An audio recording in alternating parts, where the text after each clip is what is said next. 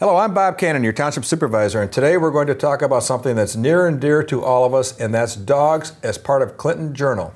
And with me today is Captain Bruce Wade from our police department, and he's going to talk about some of the issues that are becoming more prevalent about dogs today.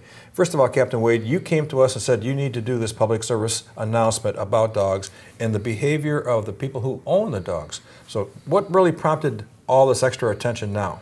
Well, what really kind of came to light was I received a couple of phone calls last week from some residents, and they uh, asked if we could kind of reiterate the, the laws and the ordinances that dogs and dog owners have to follow here in the township. Uh, they had a couple of incidents that occurred, and they said, Could you just get the message out? And I thought it would be a great idea being that the weather's breaking, people are out of their houses now yep. and they want to get some fresh air. Uh, if we could just kind of cover and go over what's expected of dog owners. Exactly. And I'm a dog lover. I've had dogs since I was a little boy. Uh, most recently, we lost our two dogs, and we're very disappointed about that. But I love dogs, and I love dogs that are under control, and I love dogs to be on my lap. So this is not about dogs. This is about people and dogs. Yes. Um, probably the number one thing that people call about is those that let their dogs run in the front of their house and they're not on a leash or, or on any type of restraint and they kind of meander down the street. And we all think our dog is the perfect dog and it's not going to hurt anybody. However, you never know when a dog's going to snap or something could scare it or the dog thinks it has to defend itself based on somebody else's actions. So um, people will call and, and they'll say, could you come over and just remind, you know, uh, the person down the street that the dog has to be in the backyard, or if you bring it in the front yard, it has to be on a leash or some type of controlled device. So dogs are not allowed to run free in neighborhoods. They're only allowed to run free in your backyard if you have a fence. That's correct. And we do have an ordinance against that.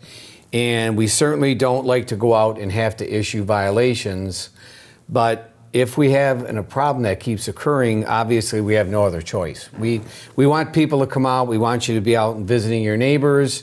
Uh, I know I like to take my dog out and just stroll through the neighborhood and talk with everybody, and they have their dogs.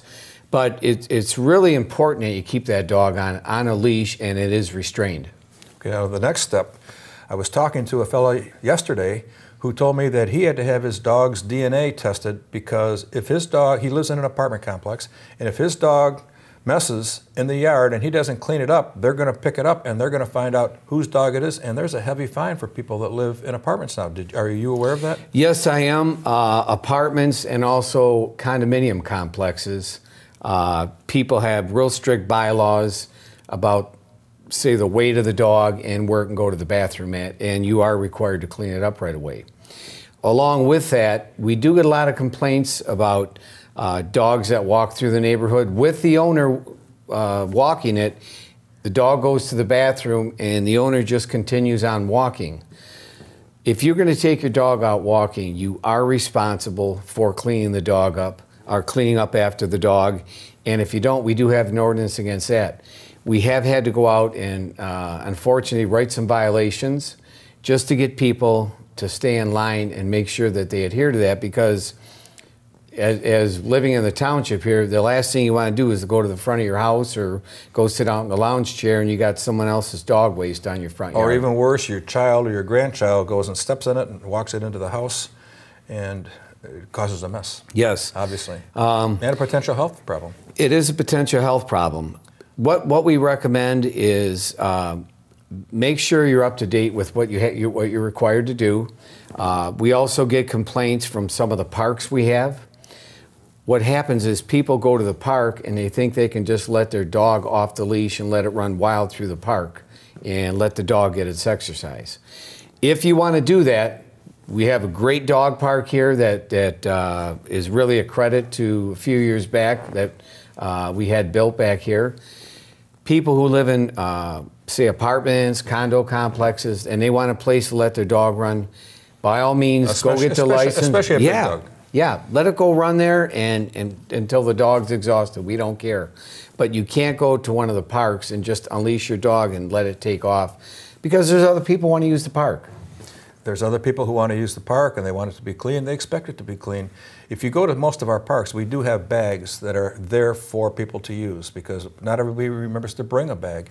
And so we're going to make it as convenient as possible, especially the George George Park, we have one. Yes, um, and, and one of the things people should know, if you want to take your dog to the park, our ordinance requires that you keep it on a leash that's no longer than six feet. So uh, people are out there having picnics. They want to enjoy stuff with their family, and the last thing they want is a dog, uh, you know, ruffling through their uh, picnic. Exactly, and also there's other animals like ducks that go to these parks, and you know they deserve to have their freedom over there too. Sure. And we all enjoy seeing the ducks. The, the, the woman that called me last week, she was rather upset because, and, and this is kind of a, a complicated issue, but she didn't want to walk her dog in her neighborhood anymore because there was too many dogs that were uh, not secured and they would go up to her dog and she was afraid that at some point maybe her dog would get attacked. It's a smaller dog. So she decided to come to the dog park. She parked in the parking lot uh, over here at the township offices and getting ready to walk her dog over. And she observed several people pull up in their car and just let their dog out of the car to run wild over to the uh, dog park.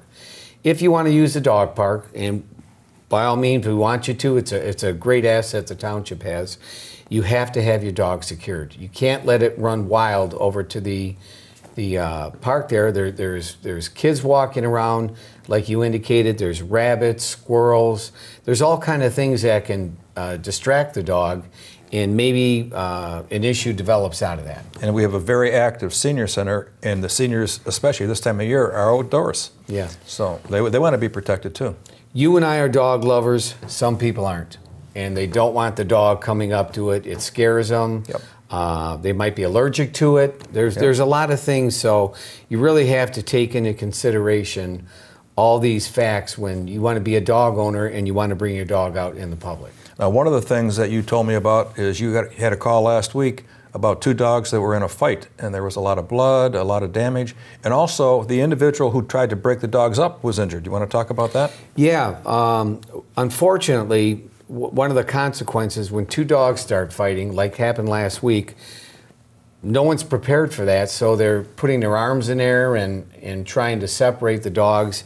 And I, I've had uh, reports come across my desk where people have really gotten some serious injuries, especially to their hands, tendons, and they've required uh, surgery. So it can become very complicated. And if you're the dog owner and your dog goes out and causes that kind of damage to somebody, you're really going to be on the hook civilly for their medical bills and anything else that may come your way.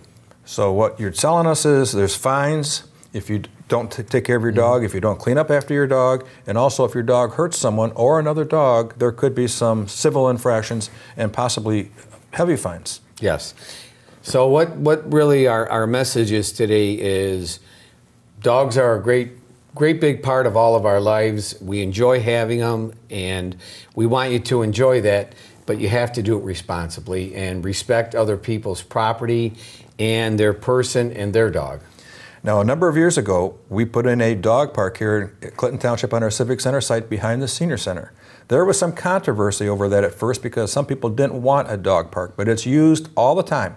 And our director, Frank Pizzo, was going to tell you about that dog park today. So thank you, Captain Wade, for the information for our public, for our public that loves dogs, and for our public that doesn't want to be around dogs. Everybody deserves to have what it is they want safe, clean, and have fun. So here's Frank Pizzo to tell you more about the dog park here in Clinton Township. Well, I'd like to introduce everyone to our dog park. We've been here for many, many moons. I've been, I worked in the township for 28 years now, and I think it was around 2002, we had a request for a dog park, and we were like, a dog park? Who has a dog park? I don't even know. But we found out that dogs are family members, and we've really learned that in the last 10 years here in Absolutely, Clinton yes. Township. So our dog park has grown. We've we started with a few dogs, and we're now over 500 registered dogs in our dog park. And now Sterling Heights and Macomb Township, they're starting to copy off of us and put Yep. their dog parks in. But we like being trendsetters here. And Yeah, the first ones. yeah, we recognized there was a need for it, and our park has grown. We've got policies, procedures, all kinds of stuff. And this woman here, Emily Minna, is in charge of all that. So why don't you tell the public how they can be a part of this program and maybe a few rules that they need to know? Yeah, so one thing that is really good about our dog, our dog park is that our safety precautions. So in order to uh, gain access to the dog park, you have to be registered through uh, the recreation office. Um, and we also require certain uh, vaccina- vaccinations for rabies, bordetella, and distemper. And it also has to be, uh, the dog has to be licensed whether through the county or the city that you live in, which many people don't believe that you have to do that. it's actually a state law from uh, the state of Michigan, you know, over 100 year, years old that, uh, that your dog has to be licensed. And we actually need the paper. Yes, we actually need the paper copy. The tag tag doesn't do it for us. Yeah. It's just just a number on a tag. So definitely the paper copy for each of those, and and when those uh, expiration dates for those vaccinations are as well. Um, Another great thing about our dog park is we do have a key fob system, Correct. uh, which tracks every person coming in and out of the system. To order that, to get that, it's, it's a $10 fee, but it's a one-time fee, um, and they can have as many key fobs as they want for family members or that as well. Um, but we do require that, and that's a great way for us to see who's in, in and out of the park at every time of the day. Yeah, and our, our dog park's an acre and a half, about an acre and a half out there. We do have rules in place. As you see, we have a beautiful, beautiful uh, rules signboard behind us. There's a lot of rules involved because when you're dealing even with children in a parks and rec setting, um, got to have rules to have Right, a right. successful program. Yep. So, what are some of our basic rules for the dog park? Um, so some of the basic rules that we have at the dog park is, um, you know, you must be in voice control uh, of your dog as the owner, uh, making sure that they're, you know, if the dog is doing something that they can come back to you. Um, obviously, picking up after your dog is another big thing. We provide- with our with our park. We do provide, um, you know, waste bags. bags for for the dogs and owners as well.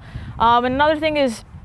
Um, to keep your dog actually off the leash when you're in the park. Yes, that's a good because that can cause a lot of issues if one dog's on a leash um, and all their dogs are off a leash. Um, there gets a little, you know, aggression or things like towards that. They don't understand why they can't run free when other dogs can. So definitely to keep your dog, you know, off the leash when you're in the park. We have a great double gate system, so there's a neutral zone that you can take the leash off before the dog gets uh, into the park. And we have a small dog park area, so if you have a little dog, you can come test us out. Mm-hmm. Under 25 pounds, we have a spot for them. Then we have some cool amenities in there. We've added, you know, we, when we took over the dog park a few years ago and wanted to improve it, we added some trees for some shade. Mm-hmm. We added a shade umbrella, which is in there, which gave them instant shade. We got some great benches. We've got a drinking fountain where you can drink, the dog can drink at the Yep. same time.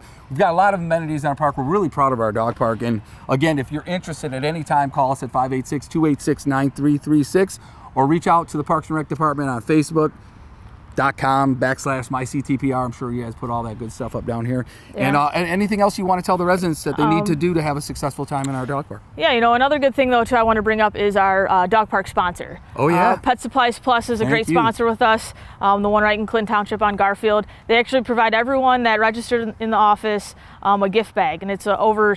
$20 value of treats, coupons, things like that. Bunch of stuff. So they get a lot of free stuff and goodies once they register for the park as Brian, well. the manager there, has been incredible. Jeff, Yes. the owner, we really appreciate them, and they've been a true partner with us. They're involved in a lot of other things. So I just want residents, if you've not been out here, take a trip out. You can walk Mm-hmm. around the park and check it out.